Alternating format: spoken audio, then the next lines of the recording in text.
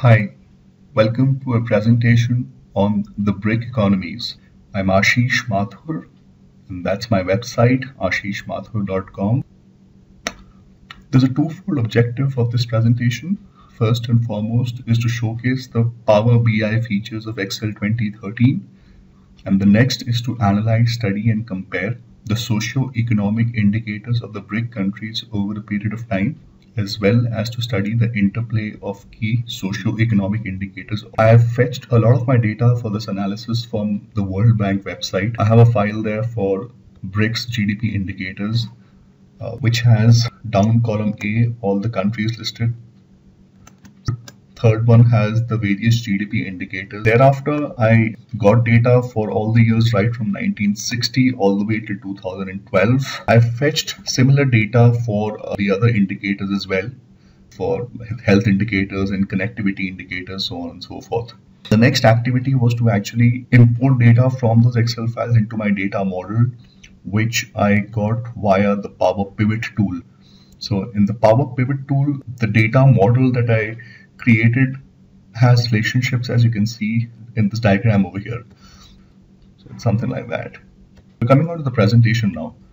Now on the left hand side in a card style format, I actually do have three pieces of information for each country. So that's the GDP in US dollars billion, the population in 2012 as well as the GDP per capita.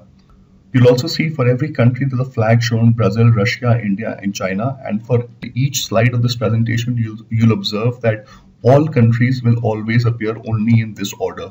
To view data for a specific country, when I click there, I see data only for Russia, or else if I simply select the flag over there, I see the data only for Russia. Now, going on to the continent summary, now, there are various pieces of information that one can see on this particular slide. So one selects the continent from here, the country from here, that's the population data for the year 2012, that's the GDP growth and the population growth for the year 2012.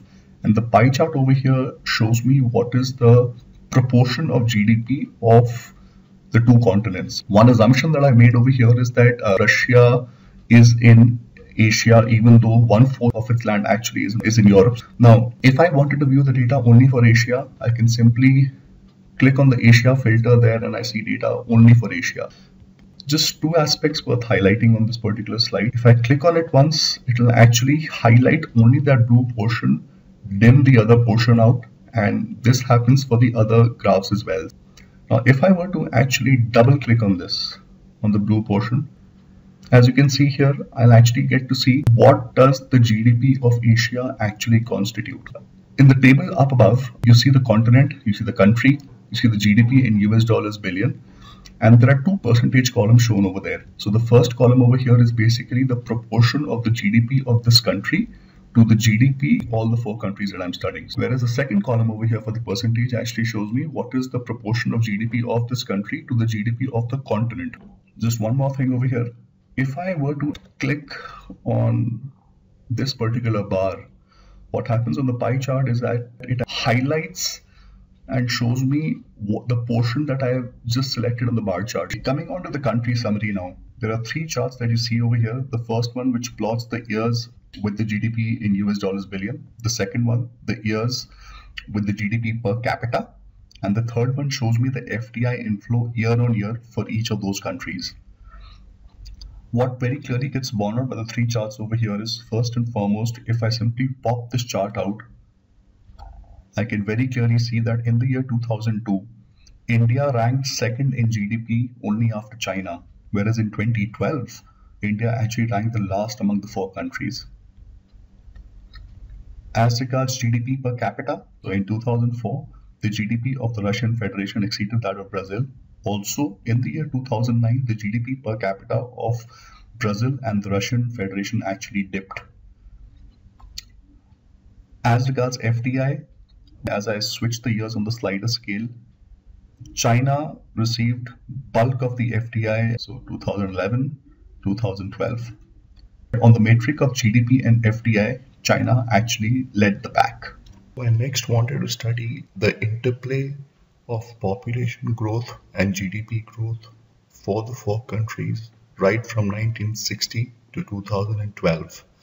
The size of the bubble here actually shows the GDP for that country. Let's study data only for two countries. So that's China and Brazil.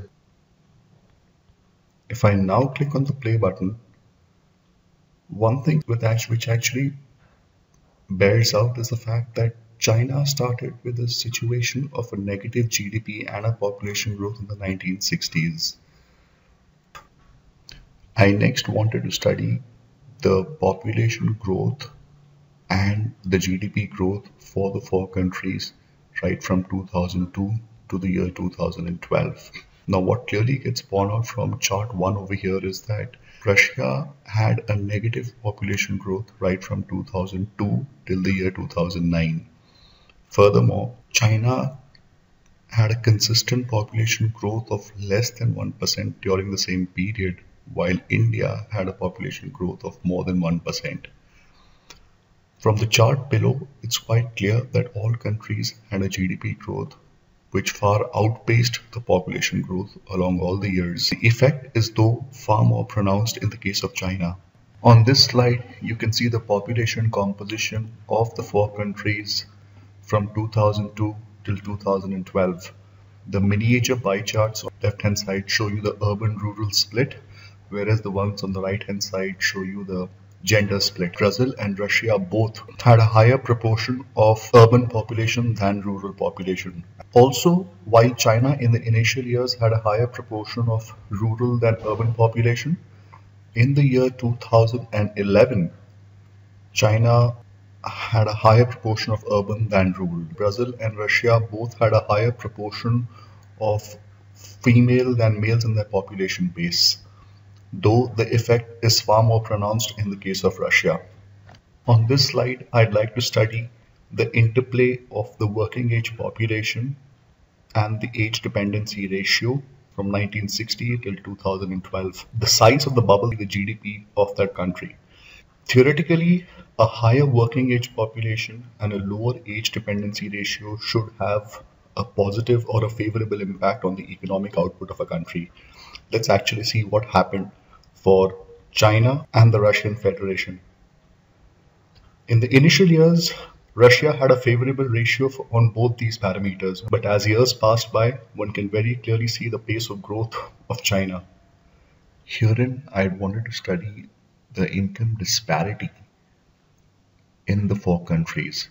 So that's Brazil, Russia, India, and China. The blue bar over here shows the income share held by the highest 20%. And the red one shows the income share held by the lowest 20%. One can very clearly see for both the years that the income disparity for Brazil is the highest. Coming to the literacy indicators now, from this slide, it's quite clearly borne out that for Russia and China, while both had a high literacy rate among adults, the difference between them is quite prominent. There's a 5 percentage point difference between the two. If I further delve into details from the graph below, it's quite clear that even among adults, it's the literacy rate among adult females which was quite low in the case of China. And if I were to select a different year over here, one can clearly see that Brazil among adults has a much lower literacy rate than that of Russia and China.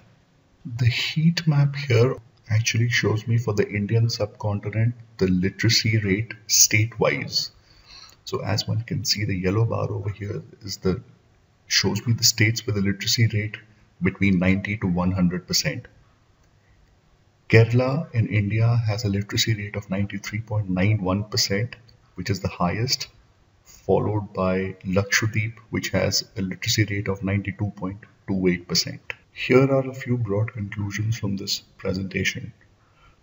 Despite experiencing negative population and GDP growth in the 1960s, China's economic activity surpassed that of the, of the other BRIC nations.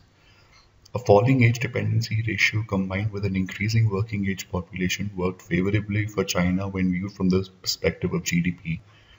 Brazil had the highest income disparity as compared to Russia and India.